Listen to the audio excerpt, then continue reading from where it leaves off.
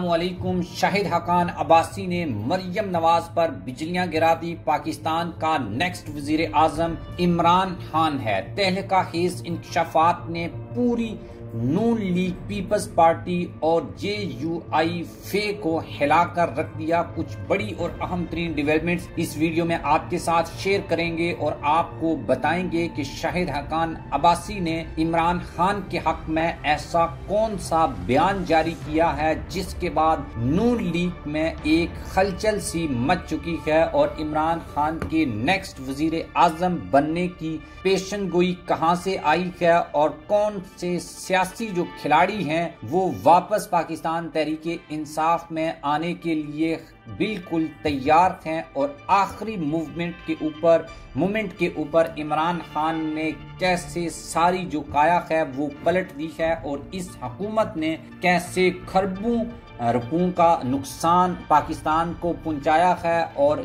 ये इंकशाफ खुद नून लीग के किस लीडर ने किया है और क्यों अब पाकिस्तान पीपल्स पार्टी और पाकिस्तान मुस्लिम लीग नून अपने कुछ सबक जो लीडर्स हैं, जो ये दावा करते हैं कि वो पीपल्स पार्टी और नून लीग में ही मौजूद हैं, लेकिन वो उनसे जान छुड़ाना चाहते हैं। वीडियो की तफसील में जाने से पहले तमाम नए आने वाले दोस्तों से गुजारिश है कि वो हमारे YouTube channel to the point को सब्सक्राइब कर लें। नाजरीन, शाहिद हकान अब्बासी, चौधरी निसार अली खान और मुस्लिम लीग नून से तल्लक रखने वाले मिफ्ता इस्माइल।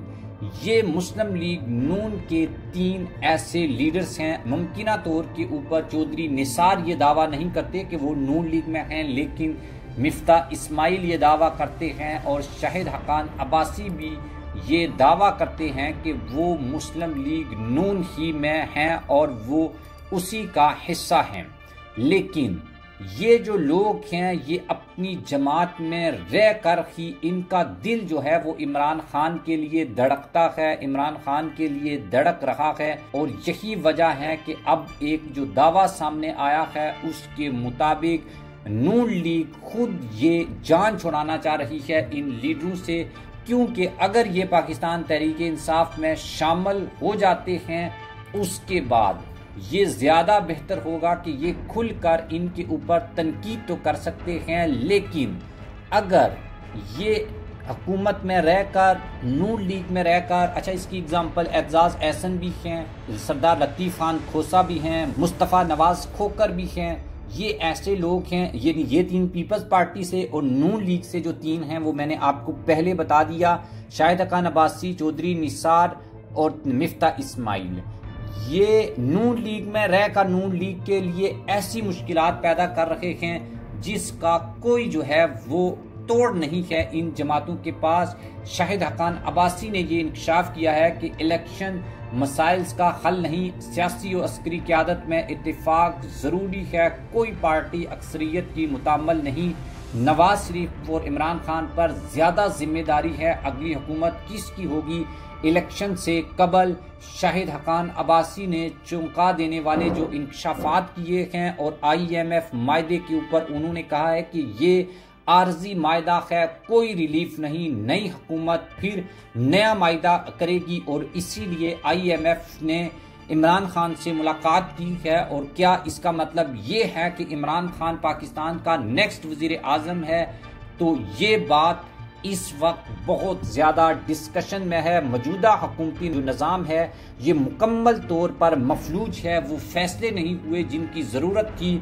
हकूमत ने खरबों का नुकसान किया है, अपनी ही हकूमत के पोल खोल कर शाहिद हकान अब्बासी ने अवाम के सामने रख दिए हैं।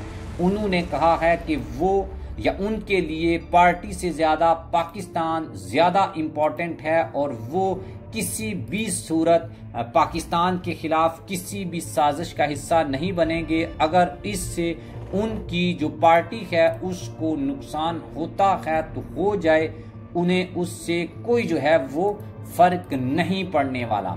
शाहिद हकान अब्बासी ने मजीद ये कहा कि मैं अपनी जमात के साथ हूँ, पैंतीस सालों से हूँ, लेकिन इसका हर मतलब ये नहीं है कि जहाँ पर पाकिस्तान के ऊपर पार्टी मुफाद होगा तो मैं पाकिस्तान का साथ नहीं दूँगा। मैं हमेशा मुल्क के साथ हूँगा। मुल्क हूँ तो पार्टियाँ होती हैं। अगर मुल्क नहीं होंगे तो पार्टी भी नहीं होती इलेक्शन मुझे इसलिए बेमकसद नज़र आते हैं क्योंकि अगर मसाइल का हल तलाश नहीं किया जाता तो फिर इलेक्शंस का कोई मकसद नहीं। अगर इलेक्शन लड़ के भी वही काम करेंगे, जो माजी में करते रहे, वही निज़ाम चलाएँगे तो फिर पाकिस्तान के जो मसाइल हैं, इनका हल नहीं निकलेगा। मैं चीज़ों को मसाइल या प्रॉब्लम एंड से देख रहा हूँ, ना कि सोल्यूशन एंड से। मैं इस निज़ाम का हिस्सा नहीं बनना चाहता।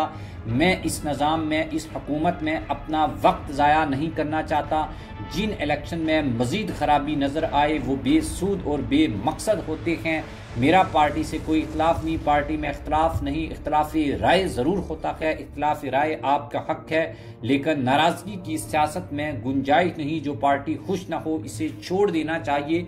पार्टी में अहदे का तालिबगार नहीं, नई नस्ल को मौका मिलना चाहिए। शाहिद हकान अब्बासी ने यह भी कहा कि बेहतरीन बात तो यह है कि नैब को ख़त्म किया जाए, नैब कोई मुस्बत काम नहीं कर रहा। नैब के अदारे को ख़त्म करके सबसे पहले मैंने कहा था, मुल्क के मसाइल हल ना होने की एक वजह नैब है। नैब स्या कानून है, जो एक आमर ने बनाया था। नैब के खात्मे का फैसला काबीना कर सकती है।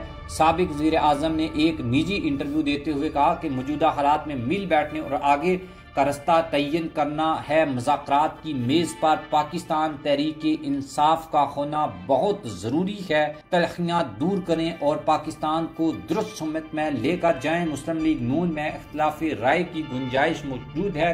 ई सी सी के मामला से मुतमिन नहीं था।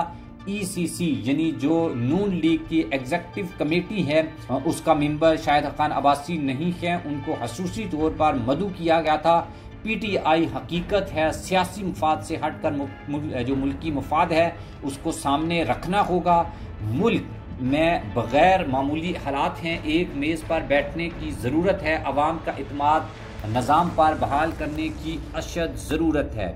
जो शाहिद खान अब्बासी हैं वो बेसिकली जो मरियम नवाज़ की सियासत है, यानी इमरान खान को डिमोलिश किया जाए, उसको जेल में डाला जाए, नवाज़ शरीफ की सियासत अदालतों में बुक, यानी जो भी, यानी कि इस वक्त नून लीग में मरियम नवाज़ और नवाज़ शरीफ की जो सियासत है, राना सनाउल्ला की जो सियासत है, शाहिद हकान अब्बासी उसके दूसरे एंड के ऊपर खड़े इमरान खान के साथ खड़े नज़र आते हैं और यही सब कुछ मैंने आपको बताया कि पीपल्स पार्टी में मौजूद बड़े और सीनियर रहनमा, सबक गवर्नर, सबक वजी दाखिला, सीनियर कानूनदान एजाज एहसन मुस्तफ़ा नवाज़ खोकर यहाँ से मिफ्ता इसमाइल, शाहिद हकान अब्बासी और चौधरी निसार जैसे लीडर इस वक्त बज़ाहिर इमरान खान के साथ खड़े हैं। और इमरान खान के हक में बात करते हुए आपको दिखाई देंगे जो इन दोनों बड़ी पॉलिटिकल पार्टीज़ के लिए एक बड़ी मुश्किल पैदा करने में अहम रोल भी प्ले कर रहे हैं। इनका दिल हान के साथ है, लेकिन एक, आप कह लें कि एक पोजीशन ये है कि हम पार्टी नहीं छोड़ रहे। हालाँकि ये पार्टी की मौजूदा हालत में हर पॉलिसी के खिलाफ खड़े नज़र आते हैं। कर रहे हैं, इनका दिल हान के साथ है, लेकिन एक आप कह लें कि एक पोजीशन ये है कि हम पार्टी नहीं छोड़ रहे, हालाँकि ये पार्टी की मौजूदा हालत में हर पॉलिसी के खिलाफ खड़े नज़र आते हैं।